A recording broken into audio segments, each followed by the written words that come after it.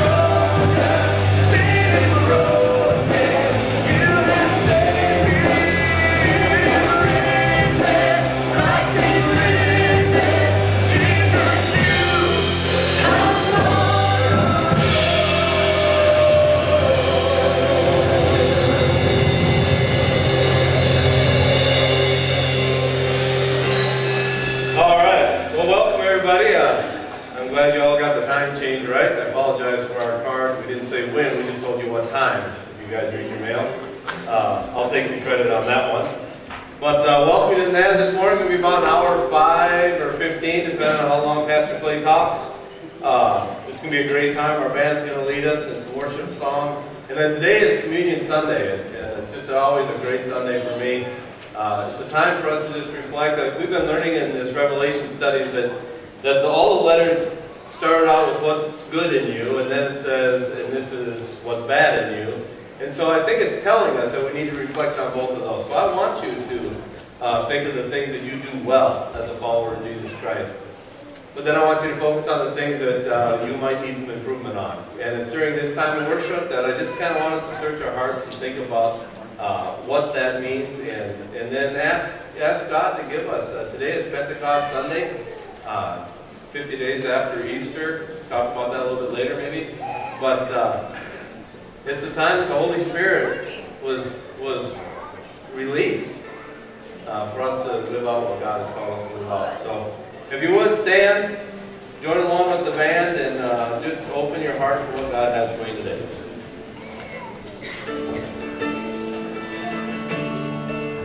Wanna be close, close to your side.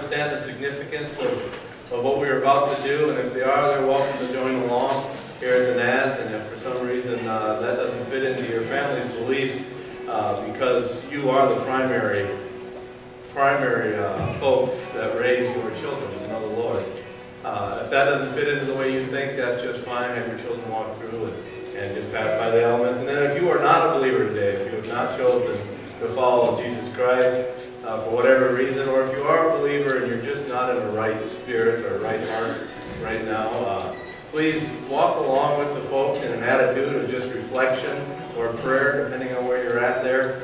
And uh, just pass by the elements and don't think anything of it. And then our, our offering plates are up here. Ushers and servers, if you would, uh, work your way in now and take your places. Um, our plates are up here, our offering plates, ushers will be up here. If this is your church home, uh, that is for you. If you're visiting, obviously feel no obligation to give it any time. And uh, for those of you that do consider this your church home, I just thank you for your for your uh, giving back your portion of what Christ has blessed you with. Uh, it's just it's wonderful, wonderful to serve you uh, in your obedience in that area as well. Uh, like I said earlier, today is just a wonderful day. I love I love Communion Sunday because it makes me remember uh, Christ hanging on the cross as a picture that I place in my mind. Uh, it works well for me to remind me of what He did for me. And, and on that day, uh, or through that act, ultimately uh, He has taken our penalty from us and He's given us the power to sin no more. Um, yeah, so just think about those things. Search your heart as you come through the line.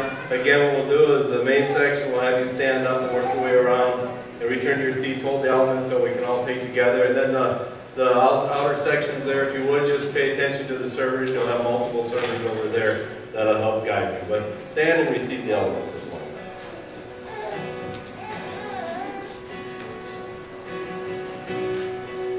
One day when heaven filled with his praises. One day when sin was as black as could be, Jesus came forth to be born of a virgin, dwelt among men, my example Word became flesh, and light shined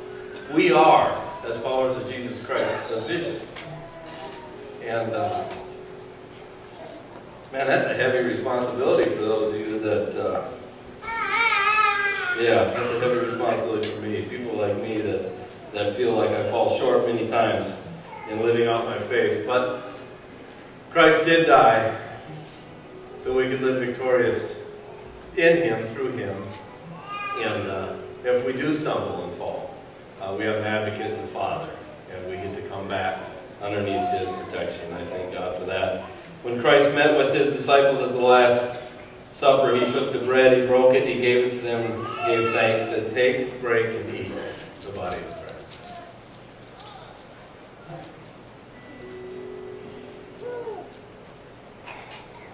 Then He took the wine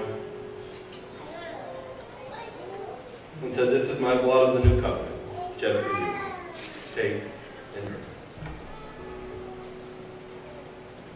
Heavenly Father, I thank you again for all those that have gathered this morning to hear what you would have for us, whether through the song or the prayer or the fellowship time, Father, through the preaching from Pastor Clay.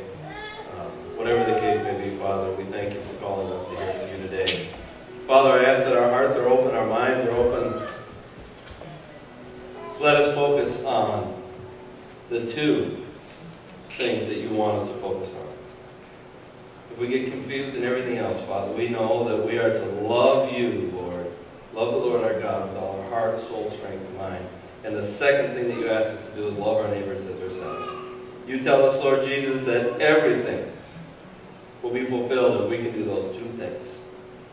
Father, I ask for, for us to make it simple enough for that. Let us not make this so difficult, Lord Jesus. Let us just love you and love others. And then through that, and through your Holy Spirit, you will guide us on the path that you would uh, have laid out for us already, Father. We thank you. We ask that your will be done, Lord Jesus. And Father, those uh, this weekend is Memorial Weekend that have loved ones, servicemen and women that have passed, Father, uh, let this weekend uh, just be a time of joy and remembrance of who they were in our lives, Lord Jesus. And then also it uh, can be a, a, time of reflection and mourning. Uh, some it's, it's been decades and some it's maybe only been weeks. Uh, Lord Jesus, since we lost a loved one. But uh, let us not forget Memorial Weekend and what that means to us. And, and penalty that you paid on the cross and that our servicemen and women paid for our freedom. We thank you, Jesus. In your name. Amen. If you would please pass your cups to the middle and stand up and greet those around you this morning.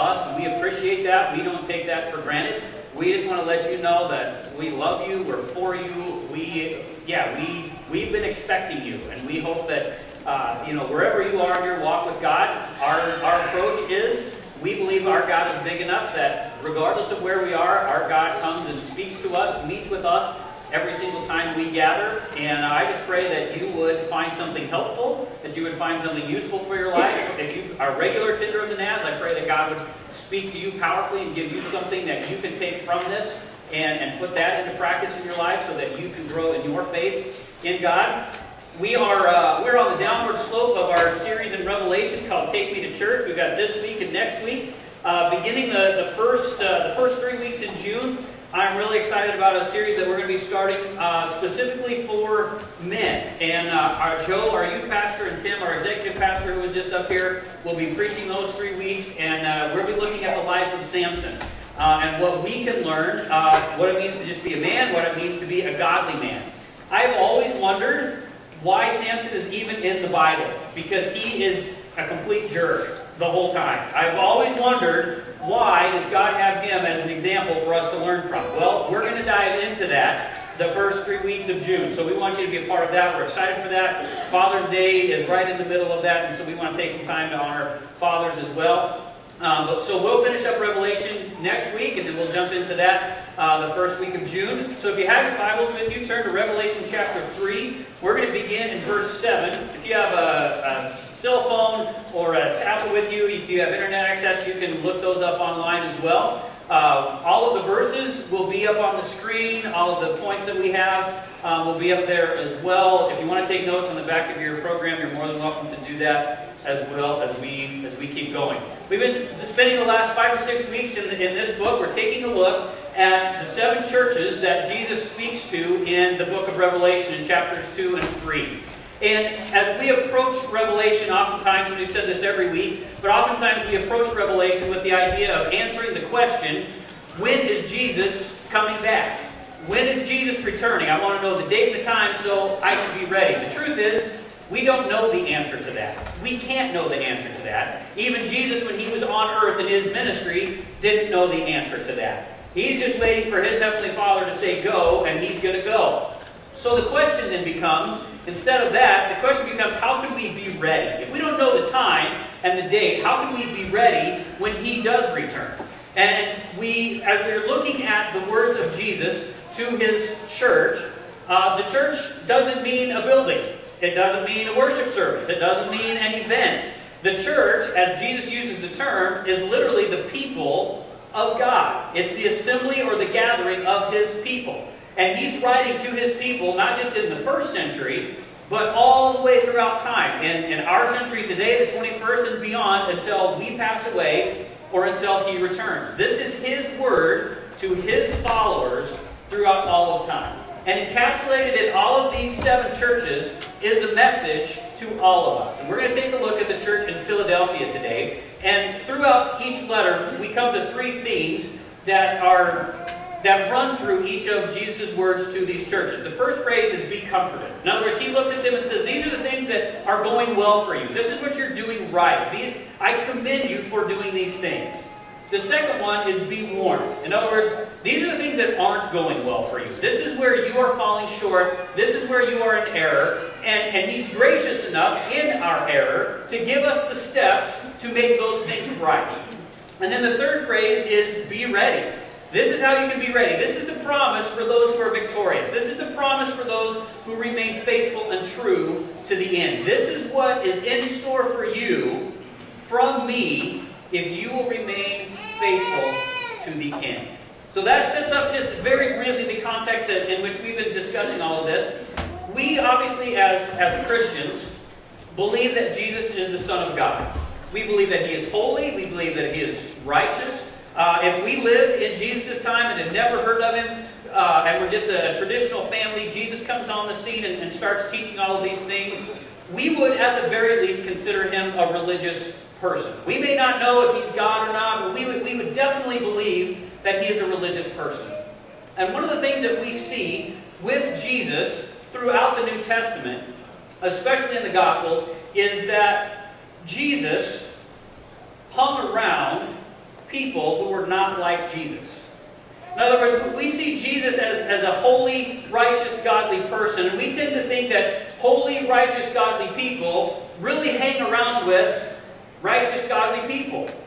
But we don't see that with Jesus. In fact, we see Jesus spending a lot of time with and going out of his way to spend time with ungodly, unholy, unrighteous people. People who were nothing like Jesus liked Jesus. He went to their homes, people sought him out, he interacted with them on a daily basis. In fact, the people who thought they were holy thought they were righteous and thought they were godly, those were the ones who had the biggest beef with Jesus. Those are the ones who always got into arguments with Jesus. They didn't know how to handle the things that he said. They thought they had God figured out. This is what he does. This is what he doesn't do. This is what he says. This is what he doesn't say. And Jesus didn't fit into their box. And one of their beefs with Jesus was the people that he hung around with. Why do you eat with sinners? Why do you hang out with scum? Why do you do that? Jesus seemed to like those kinds of people, and those kinds of people liked Jesus. And Tim said it that Jesus has a vision now for his church. As Jesus sends it to heaven, he has some words for his disciples, and he has a vision of what his disciples are supposed to be now that Jesus is in heaven. And his vision is that his people would be the representation of him to the world around them. So that we, as the church, as Christ's followers, when we gather together, it would be as close to being with Jesus as possible. If we are the representation of Jesus, an unholy, unrighteous, ungodly people like Jesus, wouldn't it make sense that Jesus' church would like being around unholy, ungodly, unrighteous people, and they would like being around us. But for some reason, and this isn't an indictment on us, but for some reason in our society, in our culture, the church has done a poor job of connecting with the people who likes to be with Jesus. We've just not done a great job with that. That the people that we just don't have the same impact on the same group of people who really desire to be around him. Why is that? There are a number, number of, of reasons, but it just seems odd that the church is not having the same impression on ungodly, unholy, unrighteous people. This is, I, have said this before, and, and, you may remember, if you've been coming to the NAZ for a little while, you may remember back in January we talked about this. This is not new information, but this just drives at the heart of this message, but just who we are as the NAZ. Several of us, uh, a number of months ago, sat down and we, we estimated the number of, of people who attend church on a Sunday morning in Fergus Falls. And our best guess, there's nothing scientific about it, but our best guess is there's about, on any given Sunday, there are about 3,500 people who attend church in Fergus Falls on a Sunday morning. We can make the inaccurate assumption that all 3,500 people who are in church on a Sunday morning are going to heaven when they die or when Jesus returns. The population of Fergus Falls is 13,500 people. And if you do the math, that means there are 10,000 people in our city limits who do not know Jesus and potentially what he has done for them. 10,000 people. That is 75% of our population. And if that same percentage is true of Otter Tail County, there are 44,000 people within driving distance of this building and our homes who potentially do not know who Jesus is or what he has done for them. 75%. As a staff member of this church for 11 plus years, now serving as the pastor, I can, I'll be honest with you, I, I can be happy, I can have this sense of pride when we have 500 people walk through our doors on a Sunday morning. You compare 10,000 to 500, that's a pretty big gap. In fact, 500 people on a Sunday morning is only 4% of our population. 4% versus 75. That's a big gap. And, and some of us look at that and, and we think that is so much bigger than us. That is so overwhelming. I don't even know what to do with that. Like, I don't even know if we have enough time. I don't know if we have enough money. I don't know if we have enough energy to even make a dent in that. I don't think we have the resources available to really do anything about it. And not to mention just that huge gap, but even just in our society, in our culture, that seems to be turning and becoming more and more hostile to Christianity, to church, to, to Christians. That just seems completely insurmountable. And the temptation always has been for the church and for Christians, the temptation has always been to withdraw from the world and become self-focused. The temptation for us as believers has always been to turn inward, focus on ourselves, and miss out on impacting our homes, our neighborhoods, our cities, our communities, our counties for the sake of Jesus Christ. And some of you, some of you, you know, would push back a little bit with me and say, well, that, that's easy for you to say. I mean, you're, you're a pastor. You kind of work in this little bubble. You know, you're surrounded by Christians all the time. You don't know what it's like in my workplace. You don't know what it's like in my neighborhood. You don't know the animosity that people have towards religion, towards Jesus, towards Christians. I mean, it's like distrust or disbelief is just instilled in the culture of where I work and in the circles that I run in. You'd be amazed at the ridicule that people face for just saying the name of Jesus or saying that they go to church. You don't understand, Pastor, what that is like. You don't understand how helpless that feels, how powerless I feel in that, how ineffective it seems to be. And, I'm not telling you, Pastor, that you're shrink, that I'm shrinking away from my faith, that I'm rebelling. I'm proud to be a Christian. But this is kind of like the Hunger Games. The odds are not stacked in my favor. Maybe, could it be that that's exactly where Jesus wants you to be? And could it be that that's exactly how Jesus wants you to? And maybe that's exactly why he has you where he has placed you. And I say that because this is the exact scenario, this is the case, this is what life is like for this church in Philadelphia. They are outnumbered, they have no power, they have no resources. But yet Jesus speaks into their life these incredible words of hope that is for them if they remain victorious. Let's look at what he has to say. Let me give you a little back, little bit of backdrop. Well, before I get there, we feel that way so many times. And here's what I want you to get. We feel powerless, we feel ineffective, we feel weak.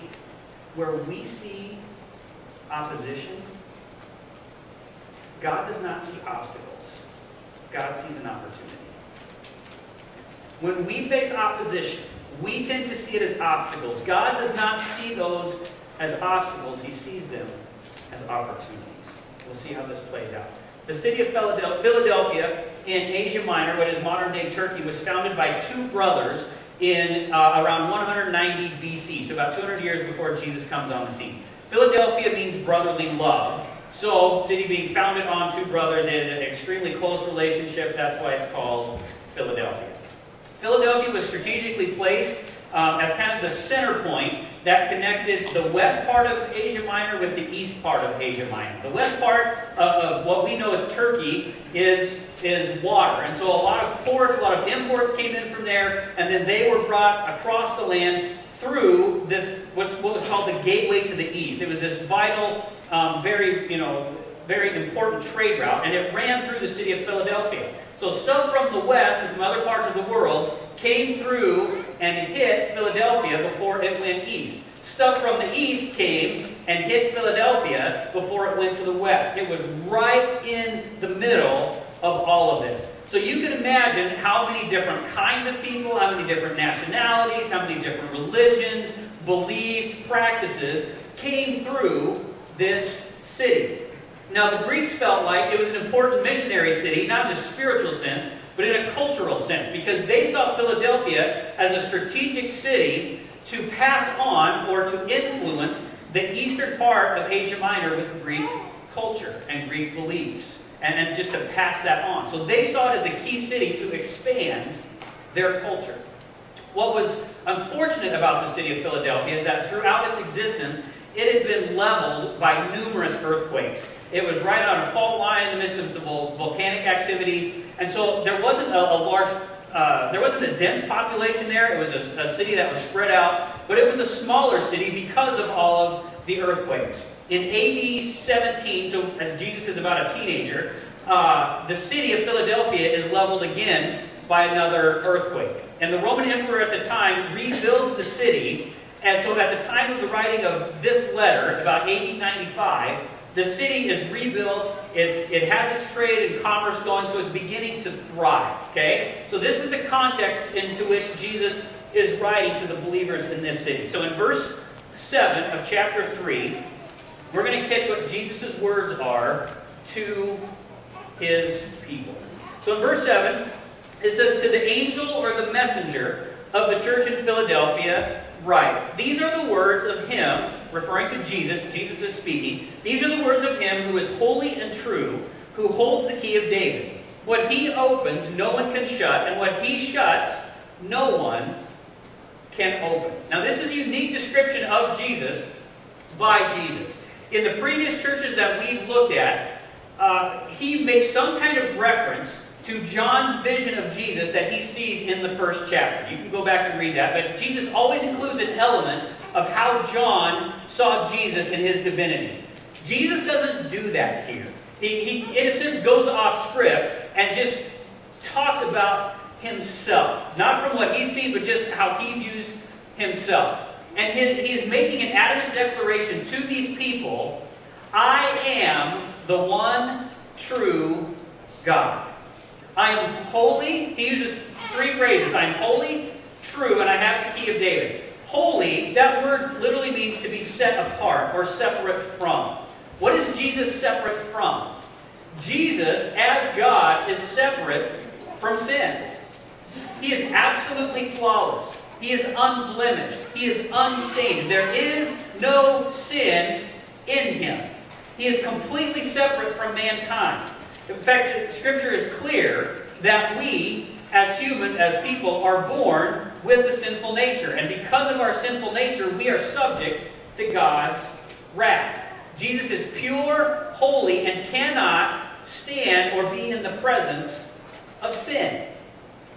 Mankind, born sinful. He is completely separate from us. He is holy. And he says he is true. There's nothing fake about him. He is genuine. He is authentic. I am holy. I am God. And he had uses this phrase, and I hold the key of David. Key, uh, a key in Scripture is, is a sign of authority. It's a sign of control. It's a sign of power. King David is, is the most important and, and most influential king in the nation of Israel in the Old Testament. And through his family tree, through his lineage, the Messiah is prophesied to come. We believe, obviously, that Jesus was that Messiah. Some people didn't. But we believe Jesus was that person, that he fulfilled that prophecy. And what he is saying is that I have the key to the kingdom of God. I am true, I am holy, and I determine, I alone have the authority to determine entrance into the kingdom of God. It makes me wonder, as, John is writing these things down, if he doesn't remember Jesus' words when Jesus was on earth, when Jesus says, I am the way, the truth, and the life. And no one comes to the Father except through me. And when I open a door, no one else can shut it. When I close a door, no one else can shut it. Is a, it is a tremendous declaration of who he is as God. And what I find amazing is, is in our phrases, be confident, be warned, and be ready. One who is holy, one who is without sin, one who can't stand sin, looks at this church and he has nothing bad to say about them. Nothing. There is no sin. There is no fault. There are no compromises that this church makes that he feels he needs to point out. He only has good things to say to them, which means they are doing something very well. Very well. And in verse 8, we have our phrase, be comforted. Revelation 3, verse 8. Jesus says to them, I know your deeds. He says this to every church. And it's either confrontational or it's comforting. Here it is very comforting. I know your deeds. I have placed before you an open door that no one can shut. I know that you have little strength, yet you have kept my word and have not denied my name. I have opened a door. I'm placing before you an opportunity that no one will take from you. There's no one, no thing, no person, no entity, no government official, no power is going to close this opportunity. I will keep it open to you. It's readily available and I will never remove it. I know that you have little strength. By the world standards and as the world looks at you, you have nothing to offer. You are poor, you are destitute, you are powerless, you have no influence whatsoever, you are a small group of people. You probably feel powerless to change your culture. You feel ineffective in your efforts. I know you have little power. You felt the pressure of persecution and the temptation to compromise. Yet, you have shown unwavering obedience in the midst of all of that. You have not denied my name. You have stayed true to my word. You faced adversity. You faced hardships. And you have never once relinquished your faith. You have remained true. One author said that, that the church in Philadelphia didn't deviate from a pattern of obedience. It was just the rhythm of their life. Compromise was not an option for them. They never considered it. Another author says this about this church. He says, in spite of its small advantages, whether it be in numbers or prosperity, they kept Jesus' word when they were called upon to deny him. In the face of persecution, they refused to deny his name. And he says, and it's for this, it shall ever have the privilege of giving others an entrance into Jesus' kingdom. In other words, that was their open door. That was their opportunity. By their obedience, by their faithfulness, people were going to come to Christ because of their love for Him, because of their love for others, and their undying obedience to Him. Their example mattered. Philadelphia was seen by the Greeks of expanding what ultimately would be a temporary culture. Jesus saw Philadelphia as a missionary city that was vital to expanding the eternal kingdom, his never ending kingdom. And he says, I will open this door of opportunity for you. I present it to you to make an eternal change. And I will not close that door. No one else will close that door. Verse 9. He says, I will make those who are of the synagogue of Satan, who claim to be Jews, though they are not, but are liars, I will make them come and fall down at your feet and acknowledge that I have loved you. We see this, we see this term synagogue of Satan in, in a previous church, and they were Jewish people who vehemently opposed anybody that was not Jewish, but especially Christians, because they didn't feel like Jesus was the Messiah, and they heavily persecuted these people. And Jesus saying, These people go by my name, claim that they're part of my family, but based on their actions and their heart, the things that they do, I am not associated with them. And he says, I will make those out of the synagogue of Satan. That phrase, I will make those, is incredibly important. Because literally, it means I am giving out of the synagogue of Satan. I'm taking out of that group, and here's their opportunity. And if you hang on to this opportunity, it's going to pay off. And the payoff is this those who are so adamantly opposed to you and who persecute you in my name. Your obedience and your faithfulness is going to be such an example to them that there will be those that will come out of that group and follow Jesus alongside you. That's how powerful their example was. That the people who wanted to see them crushed would leave that and join them and follow Christ.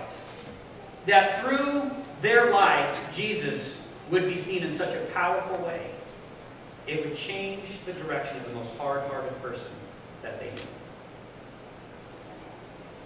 Verse 10, Jesus says, Since you have kept my command to endure patiently, I will also keep you from the hour of trial that is going to come on the whole world to test the inhabitants of the earth. Now, some authors, uh, there's some disagreement on this. Some authors think that this is, this is God's promise to his church that he's going to rapture his people out of the world before the Great Tribulation comes, before the seven-year period uh, where the Holy Spirit is removed and it's time of incredible evil, incredible turmoil in the world, and it precedes Jesus' second coming. Some people, some authors argue that this is Jesus' promise, Jesus' promise for the rapture to happen to Christians. I don't know. What every author agrees on is that this is Jesus' promise that in the times of trials, persecution, oppression, any of those things, that it's, it's God's promise of enduring, of His enduring presence in their lives. That He will see them through victoriously, whatever challenges they face. The world is not going to have the last say. You can trust me, you can lean into me, and I will protect you. That's the essence of what he is saying. Revelation 3, verse 11. And he tells them, I am coming soon. Hold on to what you have so that no one will take your, take your crown. Be patient. Keep going. Don't lose heart. Keep putting forth the effort. Keep moving forward. Don't let someone surpass you. Don't let someone overtake you and take the crown, which was their gold medal. It was a, a, wreath that was given to the, the victor or the winner of the race or the games that they participated in. Don't let anyone take that from you. You keep that as the sole focus of your heart and life. Just keep pressing on. Seriously, what is so amazing to me about this church they were so unimportant. They were so impoverished. They were just this small group of people that had no power in the world's eyes. But they were so connected and so in love with Jesus and so loyal to him that Jesus, who was without sin, holy and righteous and pure, has nothing bad to say about them. He praises them. He honors them. And he knows that the other seven churches, the other six churches, are going to read about them. He's bragging about them to everyone. And he says, This is a church, well, this is a church of so little power in the world's eyes. But the potential that it has to impact the kingdom of God is limitless. You have nothing in the world's eyes, but your potential is huge. And he promised them power over temptation, power over sin, power over compromise, power over their circumstances, power over their society. The people who would oppress them the most would be some of the ones who would follow Jesus with them. And here's what I think is the most important thing that Jesus does not say to them. Jesus does not tell this small, powerless, unimportant group of people. Jesus does not tell his church to withdraw from their enemies or from the world. Jesus does not tell them to withdraw and become self-focused. I know you feel powerless. I know you feel weak. I know you're facing persecution. I know people do not like you do not withdraw from them. That is not an option. Because Jesus himself did not withdraw from opposition. Jesus himself did not withdraw from his enemies. Jesus did not withdraw from people who would persecute him. Jesus loved them. Jesus served them. And Jesus ultimately died for them. And you know what we were before we became Christians? Because of our sinful nature, we were enemies of God. We were enemies of God. And God loved us, served us, gave his life for us, and does not condemn us anymore through him. Jesus didn't look at our sin and withdraw. Jesus didn't look at our sin and stay in heaven. Our sin and his love for us compels him to come to us. And that changed us forever. You and I have so little power in this world. But we trust the one who has all of the power for eternity. And maybe God has us in a place of weakness so that in our weakness his strength can be made perfect. Maybe he has us in a place where we are outnumbered, where we have nothing else to rely on but him. We don't have wealth, we don't have influence, we don't have resources, we just have him. And maybe that's why he loved this church so much. Because they knew they had nothing else him. as we've seen with other churches that we've looked at. People far from God are not drawn to God when the church compromises and sides with the world. People who are far from God are not drawn to Him when the church compromises and sides with the world. People who are far from God are not drawn to Him when the church withdraws from the world. People who are far from God are not drawn to Him when the church withdraws from the world. It's a balancing act, for sure. But Philadelphia was not content to side with the world, and they were not content to withdraw from the world. Neither of those two things were options for them. Remaining faithful to Christ, yes. But we're not becoming self-focused, and we're not going to side with the world. That's not what Jesus did for us. Pastor Steven Furtick says that God has a vision for his kingdom, his people, and his purposes. And that vision is expansion. That vision is expansion. Jesus told his disciples, go. Don't sit here. Go. And make disciples of how many nations? One? Two? Ten? Fifteen? I believe the word he used was all. That doesn't happen sitting here. You will be my witnesses in Jerusalem, in Judea, in Samaria, and to the ends of the world. Jesus' vision for his kingdom, for his purposes, for his people is expansion. And his kingdom will not expand unless the faith of his people expand and the reach of his people expands. A church that does church for itself is not a church. It is a club. A church that does church for itself is not a church. It's a club.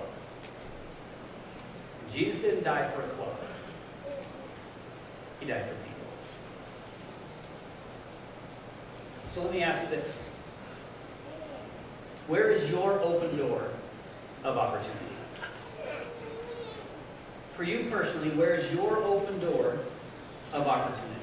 Who in your life, in your circle of, circle of influence, in the places you go every week, whether it be the grocery store or the coffee shop or Walgreens, at your workplace, school, who in your life is far from God? Who in your life is indifferent to God? Who in your life is hostile to God?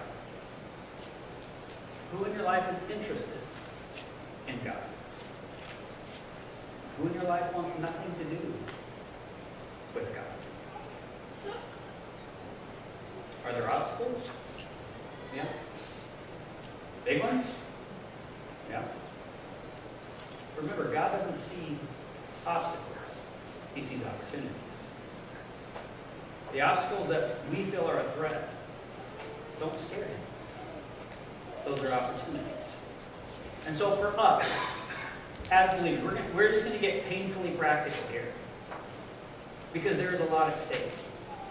If he lays before us an opportunity, our job is to walk through every open door until he closes it. Walk through every open door of opportunity until he closes it. What does that mean? How, how do we do that? Okay? You're not taking notes on the back of your program, here it is. One step. Write down every opportunity that you have. Write down every place that you go in a week that you can just count on. I know I'm going to go to the grocery store. I know I'm going to fill up the car. I know I'm going to be at work. I know I'm going to be at so-and-so's house. Where all of the places that you typically go in a week, write them down. Second, write every name at those places. Write down every name at those places. That is an opportunity and an open door for you. Every single one. Because what this is doing, it's making us aware of who is out there. Making us aware that people who are far from God like being with God. And we are His representation on this earth to those people. And here's the thing. Here's your promise. God has already gone before you to open that door. He's not saying, okay, there's someone you should go talk to. Best of luck. Let me know how it turns out. Go on. Do it. He has opened the door for you, gone before you, for you, to influence the people in your circles. So what do we do after that? We write down every name, every place, and it's as simple as this. Extend an invitation. Extend an invitation. And for, for some of you, that person, that the invitation is, hey, come to our house for dinner some night. For some of you, you've been having conversations with your neighbors and your coworkers, and maybe it's time to extend that invitation to surrender your life to Christ. Maybe it's just a simple invitation to come here on a Sunday morning. Give it a shot. Let's just, just check it out. Just come and see. We don't require anything else of you, but just come and see. Just come and see. This past Sunday in our uh, in our membership class, so so much fun to get to know everybody. But we were just going around the, the tables and just sharing how we, you know, became connected to the NAZ. And, and the last person to share uh, just told about how one of our staff members several months ago had invited invited her to come to church. And you know, after a few weeks or so, just decided, all right, I'm going to come. And from my knowledge, I don't know that she's missed a Sunday.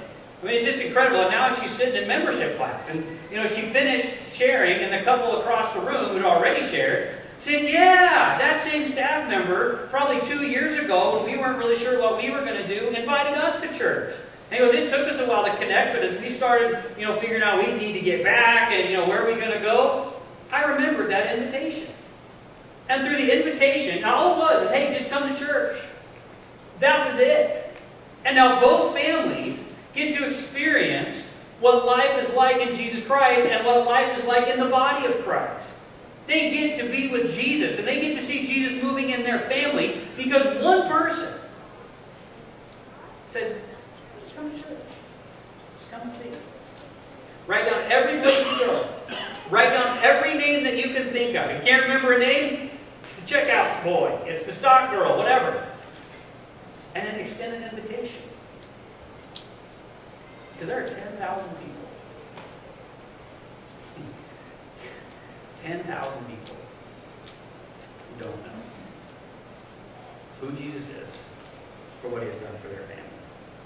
As the NAZ grows into the church that God would have us to be, I think of it to become a people and to become a church where people are drawn to him simply by being with us because we are the representation of Jesus to this world. And how, how, this is what I've asked myself. How many men, women, teenagers, children are being pursued by Jesus, but not by me, who just need an invite to connect to God? Who is being pursued by Jesus, but not by his people? That maybe all they need is a simple invitation to be connected to God. Who is Jesus pursuing that we are not? The answer to that should bother us. It should bother us. Jesus says in verse 12, Be ready. Be ready. The one who is victorious, I will make a pillar in the temple of my God. Never again will they leave it. You will be a permanent fixture, part of the foundation in the kingdom of God for eternity. And he says, I will write on them the name of my God and the name of the city of my God, the new Jerusalem, which is coming down out of heaven from my God. And I will also write on them my new name. I will write on them the name of my God. This is to whom we belong. And I will write on them the name of the city of my God. This is where we reside. Our home is in heaven. And I will write on him my new name, our forever identity in Jesus Christ, who gave himself for us. What is the open door of opportunity that he has opened for you? Will we, as a church, walk through those doors? Or will we sit comfortably on this side of the door and miss every opportunity to impact our city and community for Jesus Christ? Would you pray? Heavenly Father, thank you so much for your Son. God, I thank you for your word to us. Jesus, I, I do, I am just so thankful for your holiness and for your righteousness, for your purity. And I thank you, God, that out of your love for us, you would send your Son to evil, wicked, sinful people, and you would love us, and you would serve us, and you would die for us. And Lord, would we be like the Philadelphian church that we are so in love with you and so connected to you and so loyal to you that our lives would serve as an example of who you are and that people who are opposed to you would come to you through us. There are just a lot of people in our town, a lot of people in our county, God, who are craving something that is bigger than themselves. And only you can fill that void. Lord, would you encourage us to walk through every open door of opportunity to present you to a lost and dying world? That they would find hope, that they would find peace, that they would find forgiveness, ultimately that they would find you. Thank you, Jesus, for your word to us. We pray all of these things in your strong, incredibly powerful name. And all God's people said, Amen and amen. We're going to close with one song. I invite you to stand with us. We're going to turn it over to the band. They're going to lead us, and then we will pray and we will dismiss when the song is done.